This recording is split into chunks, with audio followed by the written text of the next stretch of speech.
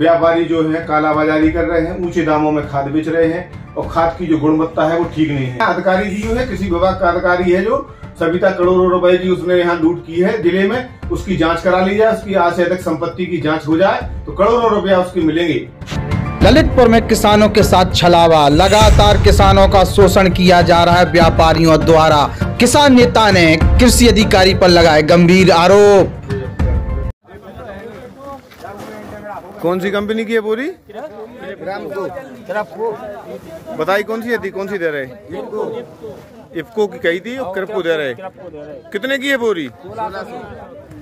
Bill दे रहे पक्को? नहीं दे रहा। घंटा लेने में लगा कैसा बिल? दिखाओ जरा। नकली है बिल। मांगो है तुमने असली बिल उनसे? क्या कह रहे? क्या कह रहे? बिल का नहीं मिले? पेमेंट भी नहीं चढ़ा रहे कितना पेमेंट आपने आप पेमेंट भी नहीं चढ़ा रहे। अरे तुमने अधिकारियों से शिकायत नहीं करी? अधिकारी तो सुन सुन रहे जब तो कर रहे अरे बताने तो पड़े अधिकारी को? खाद कैसे है?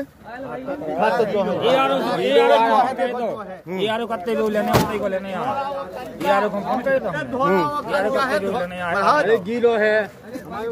वो कर गया एक बन तीन बन है देखो। बजरी है देखो। देखो तीन बन खाद भी खराब है। हाँ देखो।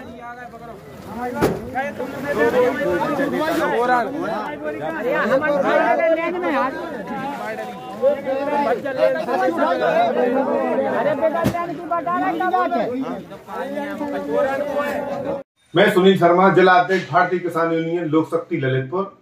मुझे मेरे पदाधिकारी हैं, तहसील के अध्यक्ष। उन्होंने हमें सूचना दी कि किसानों के फ़ोन आ रहे हैं। व्यापारी जो है, कालाबाजारी कर रहे हैं, ऊँचे दामों में खाद बेच रहे हैं और खाद की जो गुणवत्ता है, वो ठीक नहीं है। मैं मौके पे गया, मैंने किसानों के बयान लिए, उनकी वीडियो बनाई। तो और खाद को भी देखा तो खाद की गुणवत्ता है, देखने में ऐसी लगती है जैसे नकली हो। सोलह सौ रुपए की खाद दे रहे हैं, पक्का बिल नहीं दे रहे हैं जीएसटी और जितना भी टैक्स है सर राजस्व की वो चोरी कर रहे हैं और किसान बहुत परेशान है। इस स्थिति में वो चाह रहे हैं कि किसी भी दाम में मिले, वो खाद लेने के लिए विवश है। हम चाहते हैं कि प्रशासन इनके खिलाफ सख्त से सख्त कार्रवाई करे और इनके गोदाम और इनकी दुकानें सीज करे और जो बिल है, वो हमारे पास है, साक्ष्य के रूप में उपलब्ध है। वो हम बताएँगे उन्हें कि ये बिल सर वो नहीं है। पक्के बिल जीएसटी वाले बिल नहीं है। और ये नकली पर्ची हुए दे रहे हैं हर साल ऐसे होता है क्या? हर साल ऐसे होता है और प्रशासन हर बार कहता है कि कार्रवाई होंगी। प्रशासन कभी कार्रवाई नहीं कहता है फिर ढुलमुल रवैया होता है। किसान अपने काम में व्यस्त हो जाता है प्रशासन अपने काम में व्यस्त हो जाता है। इनकी मौज है व्यापारियों की भी मौज कर रहे हैं काला बाजारी कर रहे हैं। मध्य प्रदेश में ले जाके ऊँचे दामों में बेच रहे हैं।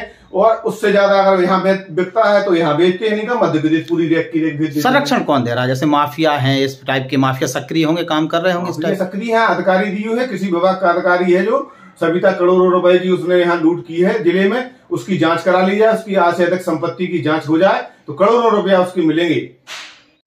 हमारे YouTube channel the Bundelkhand post को सब्सक्राइब करें।